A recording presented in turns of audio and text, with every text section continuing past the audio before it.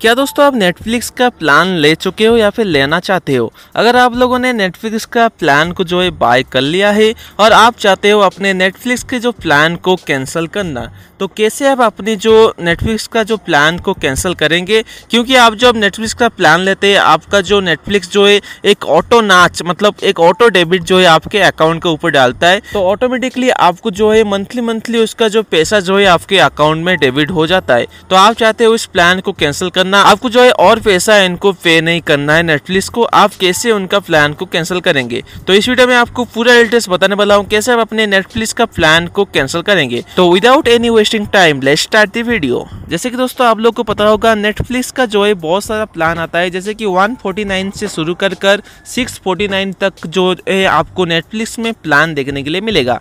तो इन सारे प्लान से अगर आपने किसी भी प्लान लिया हुआ है, या फिर लेना चाहते हो, या फिर आप लेने के बाद इसको कैंसिल करना चाहते हो तो सब कुछ जो है बड़े आसान के साथ आप नेटफ्लिक्स के साथ कर पाएँगे।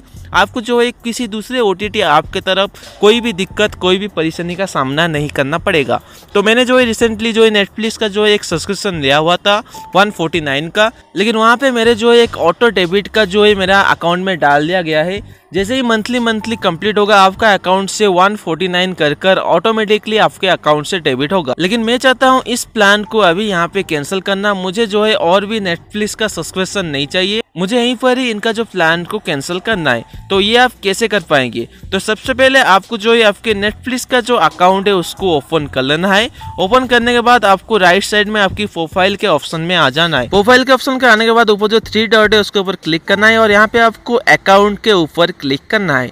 अकाउंट के ऊपर क्लिक करने के बाद आपका जो पूरा डिटेल्स यहाँ पे बताया जाएगा और यहाँ पे आपको जो है थोड़ा नीचे आपको देखने के लिए मिलेगा कैंसल मेंबरशिप तो सिंपली आपको जो है कैंसल मेंबरशिप के ऊपर क्लिक करना है। अगर आप चाहते हो अपने नेटफ्लिक्स के जो प्लान को सब्सक्रिप्शन को कैंसिल करना तो हम जो है कैंसिल प्लान के ऊपर क्लिक करते हैं। तो यहाँ पे हमें देखने के लिए मिलता है कैंसल योर स्टीमिंग प्लान तो उसका नीचे आपको देखने के लिए मिलेगा we understand if you will be cancel it be taken four October twenty you will be still avail to watch unit time तो अगर आप जो है इस प्लान को अभी कैंसिल कर लेते हो तो आप जो है जितना दिन के लिए इसका पैसा को पे करे होंगे। तो जैसे कि मैंने एक महीने के लिए पे किया था तो हमारा जो प्लान जो है फोर अक्टूबर तक चलेगा। अगर आप इस प्लान को अभी कैंसिल भी कर देते हो तो आप जो है फोर अक्टूबर तक मतलब पूरे एक महीने तक आपका जितना भी दिन बाकी होगा उस पैसा का तो आप उतना दिन तक इसको जो है देख पाएँगे। तो यहाँ पे आपको फिनिश कैंसिलेशन के ऊपर क्लिक करना है, अगर आप कंफर्म चाहते हैं इसको कैंसिल करना।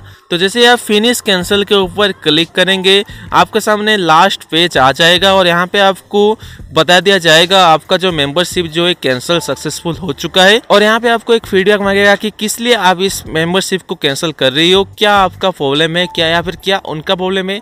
तो यहाँ पे आप कुछ भी एक रीजन देकर डन कर दीजिए। आपका जो नेटफ्लिक्स का मेंबरशिप जो है सक्सेसफुली कैंसिल हो जाएगा। तो दोस्तों, ये था आज का वीडियो आई होप इस वीडियो में आपको सक्सेसफुली पता चल गया होगा कि कैसे आप अपने नेटफ्लिक्स का प्लान को कैंसिल कर पाएँगे। तो इस वीडियो में सिर्फ़ इतना ही, मिलता हूँ आपसे नेक्स्ट वीडियो में, तब तक के लिए जय हिंद।